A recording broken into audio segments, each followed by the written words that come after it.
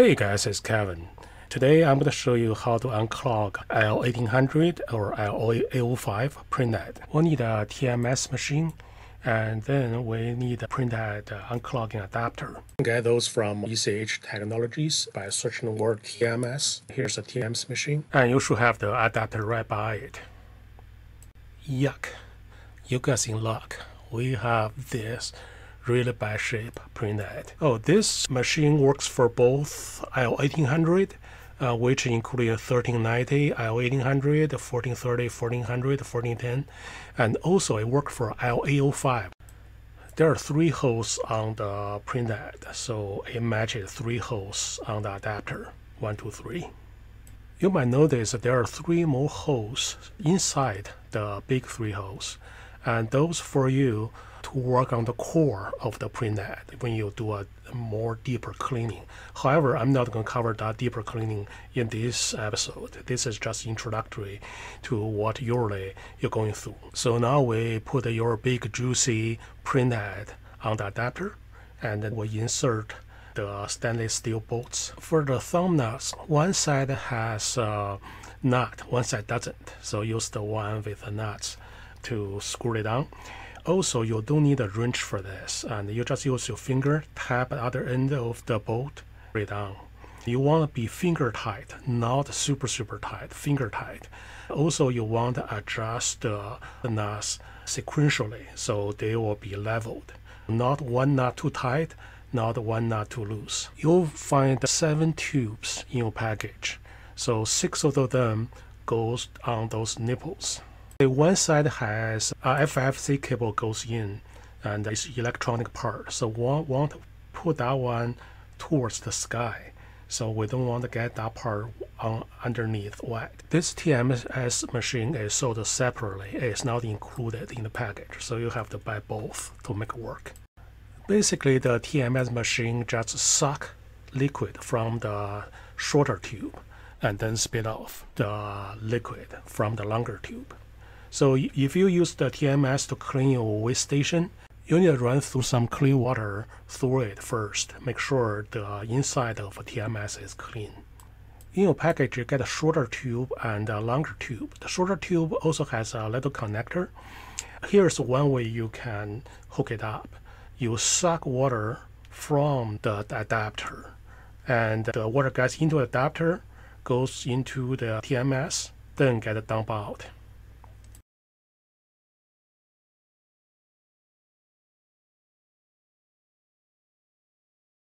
Confused? Let's try another way. You know the longer side of this water going out. We attach tube to adapter and also in your package you have a small connector. The small connector connect to the longer tube. So the TMS will spit water from the longer tube and push into the adapter. The water flows out of adapter to another tube. The tube goes to the sink. Easy? Now is the fun part we turn on the TMS. We'll let the machine run for a few seconds so that will clear anything underneath the printhead. So when the water is clean, we can put in our container, make uh, the water circulate. Oh, by the way, uh, you suck water from that uh, container. It makes sense now. For the ink channel that's not clogged, you're going to see the ink start racing up. And well, let me give you explanation. We'll get water in and water out, and we create a micro turbulence array. There's little bumps here.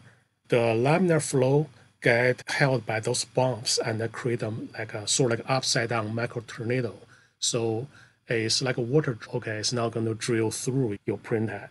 And uh, basically work on the nozzles. So it's slowly, it's slowly pushing all the particles up so this is different from traditional push-pull method. If you see, there's some people invented the cleaning machine. What it does is uh, push straight down or straight up, and that is brute force, and uh, most likely is going to damage your printhead. Um, our method is different. It unclog by a slow spiral force and push up. By the time I adjust my camera, you can see the blue and red they already self unclogged. already. And nothing happened at two white one. You're gonna notice the black and the yellow, they raise up, but then they stopped. The reason is it's already opened up your nozzles, but on top of nozzles there's an ink reservoir, and in the reservoir there are lots of clogs. So it try to push up, but also the weight of those clogs also pushing down, so you get a kind of balance.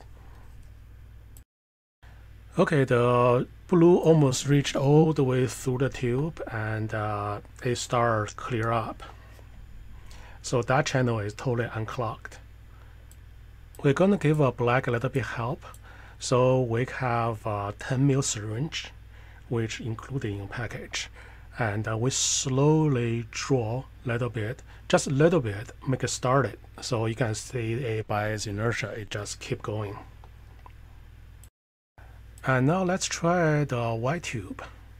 You should not feel it's a vacuum. When you draw the ink, and give it a little pull and uh, you can feel the resistance but not vacuum. See this one is totally vacuum okay and there's no way I can draw it out. When you say this stop you cannot unclog that channel this way.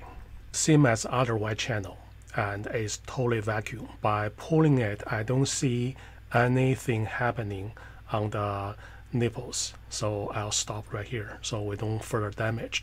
This is different from the other like unclogging video and the guy just push until the whole printhead burst. Uh, we don't do that here. I'll go get a cup of coffee and uh, we're gonna come back and see the result. The black went a little further and the blue is totally cleared. Red need a little bit of help. So I decided to give all the remaining unclogged colors, the black, the yellow, the red, let it be help. And I'm not touching the white channel because there's no way I can unclog this way. You can clearly see the clogs for the black. And the clogs just coming out now. And uh, you're going to see as you start to get clear water from the black. See the clogs, the chunks? you can see this is absolutely gentle and slow process. It's not like you can clean this within minutes. Slowly, the ink get pushed up. The only way you can damage it is if you draw too fast or too violently, and that may damage it. I haven't damaged one by doing this way. Just be gentle. And now I'm giving the red a little bit help. And you can see clear out right away. I don't really need to give the red help, it just so I can speed up for the demonstration. Another thing is you don't have to do this only for the clocks.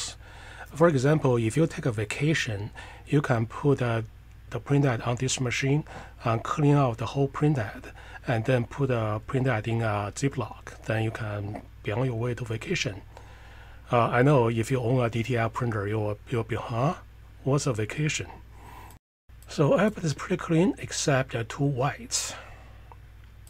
Uh, yellow is almost all the, all the way through. I gave the yellow a little bit time. Yellow is pretty good, and uh, we just give a black a little bit help. And then we can work on the whites. Uh, for the white ink, you get uh, two places can clog. One is on the manifold, another one is on the core of the printhead. So we re remove the printhead from the adapter and uh, we get a screwdriver. There are three screws on the printhead, so we're going to remove those screws. And the silver protective plate is going to come off with the screw.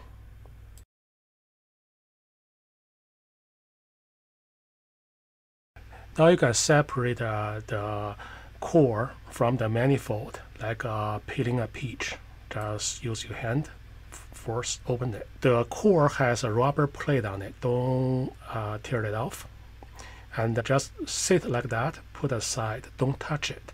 So we don't work on anything with core in this video. So we try to figure out if the clock is here on the manifold. We get a syringe and a tube.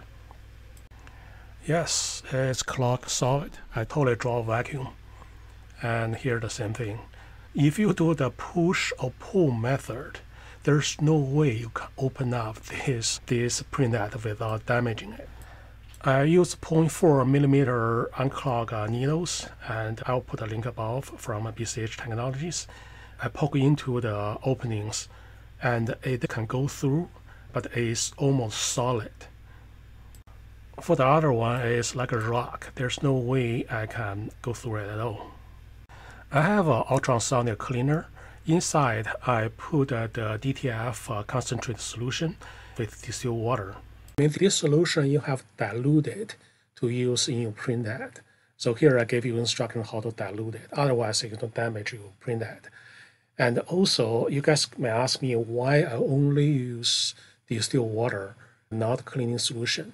Every cleaning solution is going to somehow damage your printhead. It's uh, erosive, and so you don't really need a cleaning solution work on your printhead if you're not really desperate.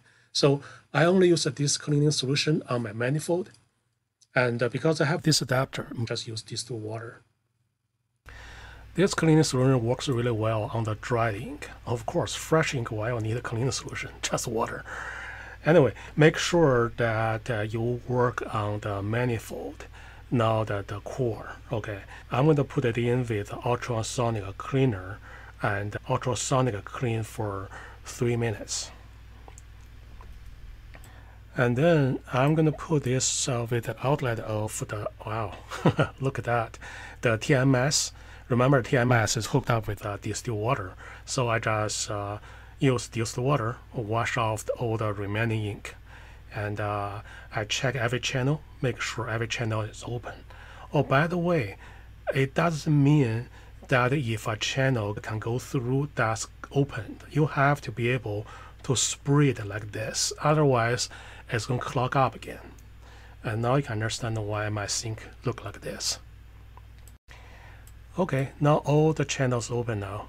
Oh, remember, only do the ultrasonic with the manifold. Do not ever do it with printhead core. You're going to damage the core. Unless it's certain models and certain ultrasonic cleaners, your like a $30, $40 cleaner cannot work on apps at all. Okay, now we can put the manifold back. Remember, we haven't done anything with the core, okay? So right now we just say if the core is not clogged, if it's open.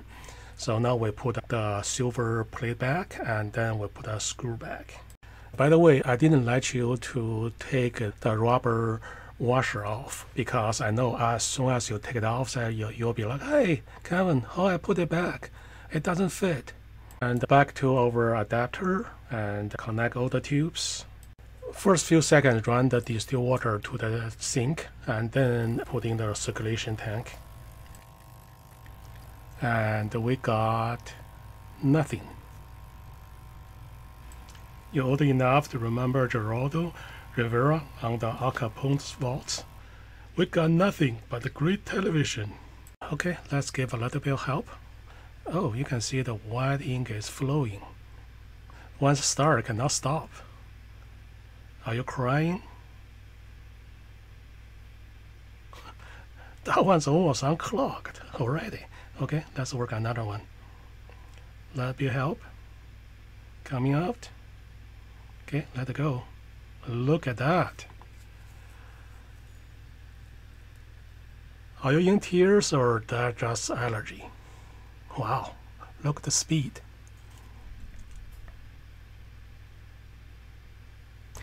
Looks like the printhead cannot wait to be unclogged. Once all the water be clear, we can put it back to the printer. I know I have to give you a personal moment before we do that. Look how clear it is.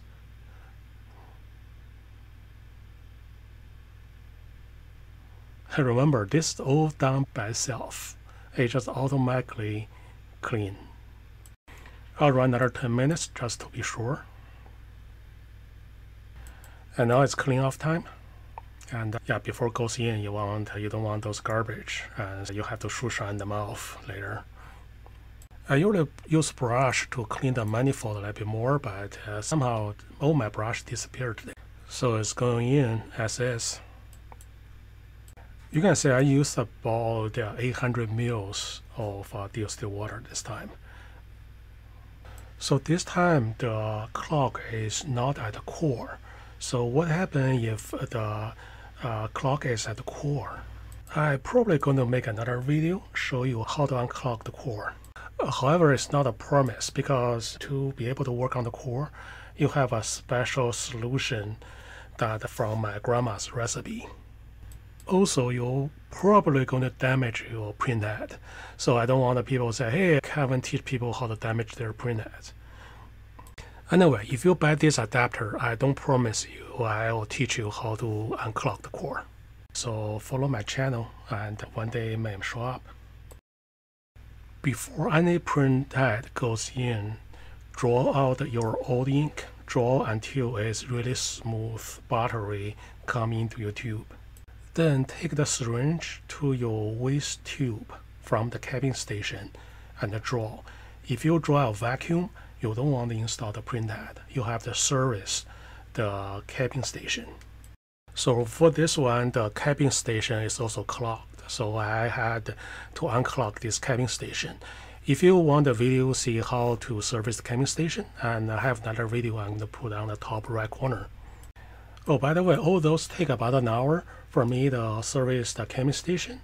And when this happening, I just put our printer at the side. I don't put any water solution in it, mm, put in the Ziploc because I know inside there's nothing but water. So I'm confident how good it is, how clean the printer is. So after that, I install the printer